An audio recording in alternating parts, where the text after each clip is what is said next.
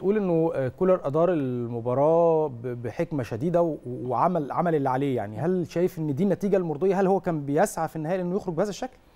هو زي ما قلت لك آه، هو طبعا أهم حاجة عندي ما استقبلش هدف بره أرضي وده شيء منطقي. لو أنا قدرت أسجل تمام. لكن زي ما قلت لك يعني بتعرض معلول للإصابة أدى إلى هبوط الأداء الهجومي للنادي الأهلي في المباراة بشكل كبير وملفت. ولكن أنت حافظت على الشكل. امتصيت حماس لعيبة الترجي. خلينا برضو لازم نحط خط تحت إن الترجي بيلعب في أرض وسط جمهوره. ومع ذلك هو ما كانش أفضل نسخة للترجي. يعني كل امبارح أجمع إن ما كانش في فرص كتير باستثناء الهجمة اللي كانت بعد إصابة علي معلول على طول لأنه خرج ما كانش في حد بيغطي مكانه غير. حسين الشحات. كولر ما تدخلش سريعا ولكن تدارك الخطأ بعد كده. كانت مجازفة كبيرة جدا بمشاركة كريم فؤاد بديل ولكن أدى نوعا ما اللي مطلوب منه إن أنا ما يخشش فيا جون. آه خليني أشيد بدور وسام.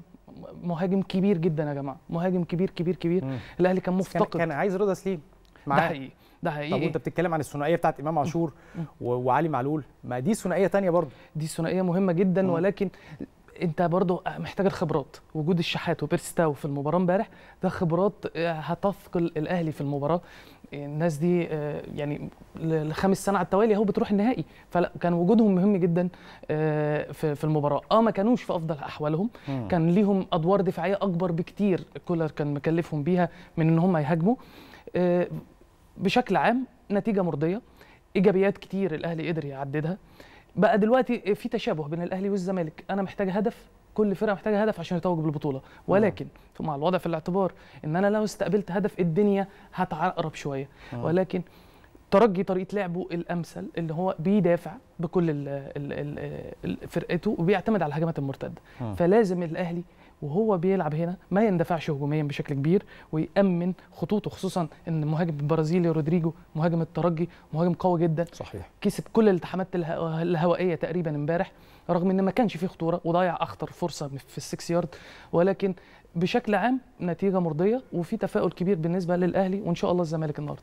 ربنا يسلم. قبل ما نتحول للزمالك انت متخيل ان الترجي ممكن يستمر في الخشونة ال- اللي إحنا شايفين لعب بيها شوية في آه، تونس؟ هل متوقع انه يستمر في هذه الطريقة لما يجي هنا في القاهرة ولا الوضع هيختلف؟ طبيعي جدا. الترجي معمو- معروف شمال افريقيا معروفين بقوتهم في في اللعب وكمان بقى اهدار الوقت والكلام ده كله كلنا حافظينهم.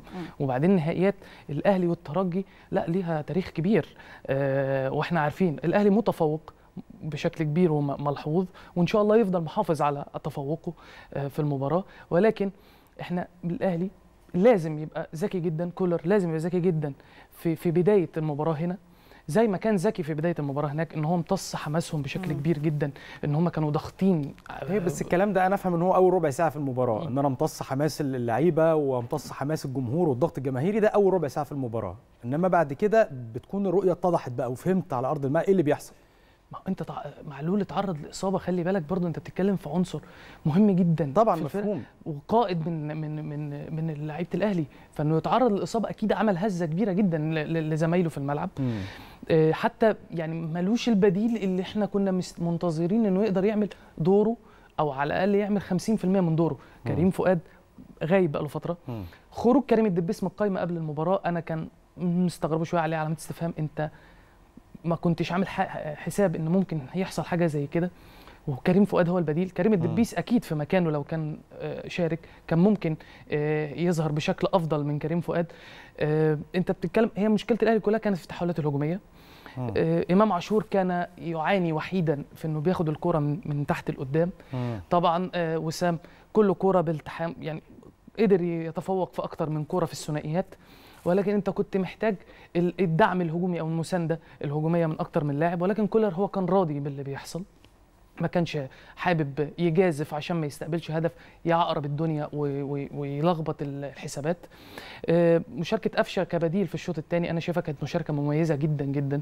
آه، الأهلي كان في التوقيت ده محتاج حد يمسك كورة يهدر الوقت بطريقة شرعية ينقي الكورة كتير ويدي لعيبة الأهلي ثقة. عشان كده إحنا شفنا الأهلي مسك كوره في آخر ربع ساعة أكتر من أي وقت وده ذكاء برضو كولر.